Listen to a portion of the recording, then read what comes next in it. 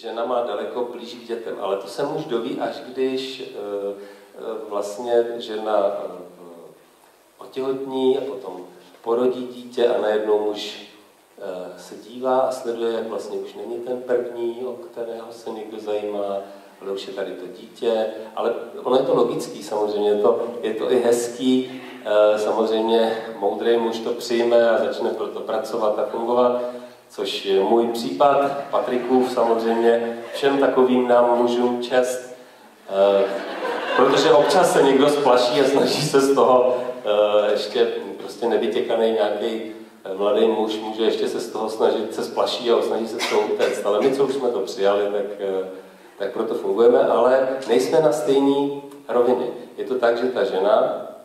třeba u nás, když dá někdo pohlavek, tak to může být jenom Gabriela, protože její děti, její, smí být jenom ona. No?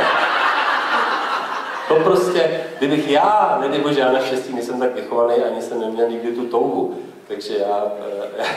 ale kdybych já udeřil svý děti, no to, si, to, by, to bych neunesl.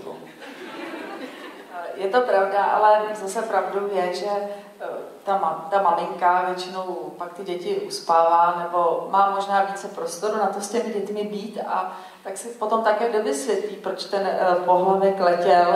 a proč eventuálně nějaká ta rána přišla, ale myslím si, že teda u nás zrovna tohleto téma není příliš aktuální. Já, když něco lítá, tak to nejsou pohlavky, ale občas nádobí.